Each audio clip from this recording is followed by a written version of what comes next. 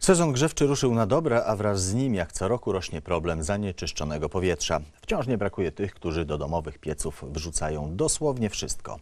Na walkę o czystsze środowisko samorząd województwa planuje przeznaczyć w najbliższych latach ponad 190 milionów złotych. Pieniądze mają ułatwić mieszkańcom regionu m.in. likwidację starych pieców węglowych czy montowanie instalacji fotowoltaicznych. O szczegółach rozmawiano dziś w Urzędzie Marszałkowskim. Plastikowe pojemniki i butelki, sztuczna skóra, zużyte opony, a nawet opakowania po farbach i lakierach. To tylko część rzeczy, które zamiast na wysypisku lądują w domowych piecach. W ten sposób do atmosfery dostaje się co najmniej kilkanaście trujących związków chemicznych, innymi tlenek węgla i azotu, dwutlenek siarki, związki chloru, fluoru, kadm, rtęć i ołów. Gęsty gryzący dym na wielu osiedlach podpowiada nam jedno: rozpoczął się sezon grzewczy. I to się czuje, prawda? I ludzie palą czym, czym, czym się da.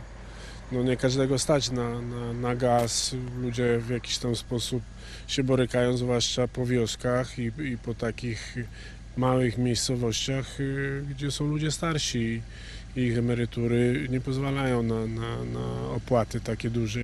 Ale oszczędzanie odbija się na naszym zdrowiu, bo w czasie spalania niebezpiecznych substancji powstają wyjątkowo groźne dioksyny, a to, jak twierdzi krajowy konsultant w dziedzinie zdrowia środowiskowego, może być przyczyną wielu chorób. Zanieczyszczenia powietrza nasilają miażdżycę. Trafiają drobne cząsteczki, trafiają do, do układu krążenia i tam niestety proces miażdżycowy postępuje szybciej w przypadku osób na obszarach, no, gdzie jest zanieczyszczenie powietrza. Kolejna choroba to są choroba obturacyjna płuc. Zanieczyszczenie powietrza to poważny problem nie tylko takich miast jak Katowice czy Kraków. Dotyczy także Podkarpacia. Tylko w ostatnim tygodniu odnotowano trzy przypadki przekroczenia dopuszczalnych wartości pyłów PM10 oraz benzoalfapirenu. Są takie przodujące miasta, jeżeli chodzi o zanieczyszczenie. Niestety to jest miasto Jarosław, miasto Dębica się pojawia również benzoalfapirenie, pojawia się miasto Mielec i potem już tak mniej więcej wszystkie porówno, czyli tam Krosno, Sanok, Jasło, Przemyśl. To są już takie Rzeszów, to są już miasta, w których skala przekroczeń jest zbliżona.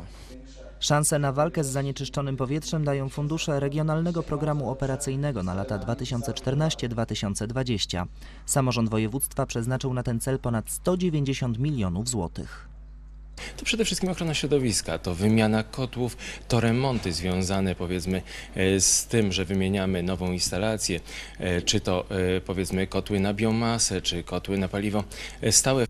O pieniądze mogą się starać przede wszystkim samorządy. Za ich pośrednictwem wsparcie dotrze także do mieszkańców Podkarpacia, na przykład przy wymianie pieców węglowych czy wmontowaniu na dachach domów instalacji fotowoltaicznych. Szczegóły można znaleźć na stronie internetowej.